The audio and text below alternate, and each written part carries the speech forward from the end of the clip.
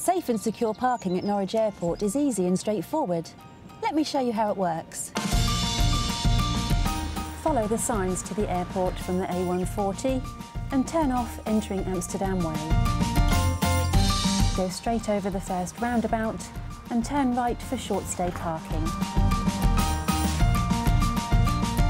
To guarantee your parking and get the best price, please book online ahead of travelling. At the entry barrier, press the button and take a ticket.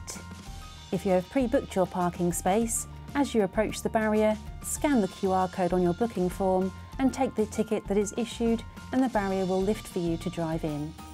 If you have a problem with this, press the help button for assistance. If you haven't booked online, then you can pay by credit card on the day. Our parking is safe and secure with security monitoring the car park 24 hours a day. Short stay parking is just a few minutes walk to the terminal building.